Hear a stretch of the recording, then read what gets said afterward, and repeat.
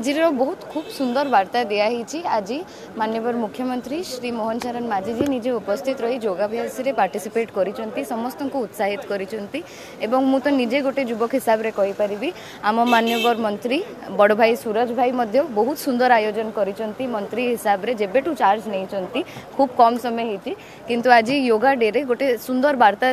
ଦେଲେ ସେ ଯେମିତିକି ଆପଣମାନେ ସମସ୍ତେ ମଧ୍ୟ ଶୁଣିଥିବେ କି ଭାରତ ଦେବାରେ ବିଶ୍ୱାସ କରେ